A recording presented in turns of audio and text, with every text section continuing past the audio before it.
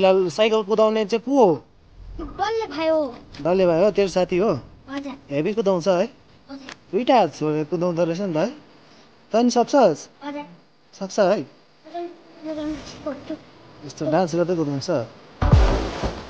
ए heavy छ heavy छ heavy छ हेभी छ। ए।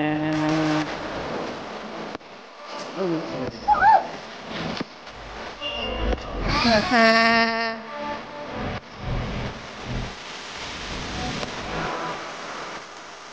छ नि हौ। अब साइकल त मजाले कुदाउँदो रहेछ कि स्टन्ट गरेको अँ स्टन्टको स्टन्ट गरेको तर स्टन्ट गर्दाखेरि चाहिँ हेलमेट लगाउनु पर्छ हो सेफ्टी गियर्सहरू लगाउनु पर्छ ल